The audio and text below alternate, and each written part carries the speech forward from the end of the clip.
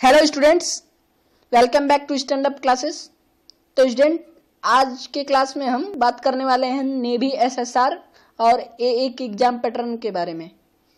जी हाँ students student ऐसा मैं इसलिए कह रहा हूँ क्योंकि आप लोगों में से बहुत सारे स्टूडेंट को अभी भी जो है फुल एग्ज़ाम पैटर्न की जानकारी ही नहीं है। इसलिए स्टूडेंट तैयारी से पहले आपके लिए अच्छा होगा कि फुल एग्ज़ाम पैटर्न को जो है सबसे पहले जान लें। फिर तैयारी करते रहें। तो सबसे पहले हम बात करते हैं एसएसआर यानी सीनियर सेकेंडरी रिक्रूट को लेकर।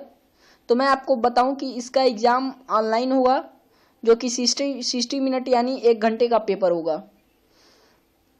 आपका पेपर जो है चार सेक्शन यानी English math science and general knowledge में जो है बटा होगा और पेपर ट्वेल्थ लेवल के सिलेबस पर बेस्ड होगा।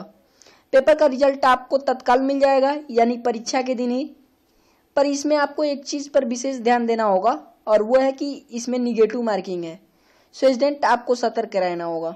जब आप रिटेन एग्ज़ाम उत्तीर्ण कर लेंगे तो आपको जो है दो से चार दिन के अंदर पीएफटी यानी फ़िज़िकल फिटनेस टेस्ट के लिए बुलाया जाएगा, जिसमें आपको सिक्सटीन सिक्सटीन हंड्रेड मीटर्स का रेस जो है सेवन मिनट यानी सात मिनट में पूरे करने होंगे।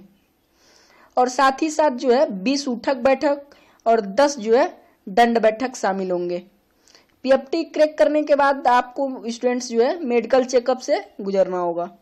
अब बात करते हैं स्टूडेंट्स ए ए यानी जो है आर्टिफिशर अप्रेंटिस के पद को लेकर। तो इसका पेपर भी कंप्यूटर बेस्ड ही होगा, जिसमें हंड्रेड क्वेश्चंस मौजूद होंगे।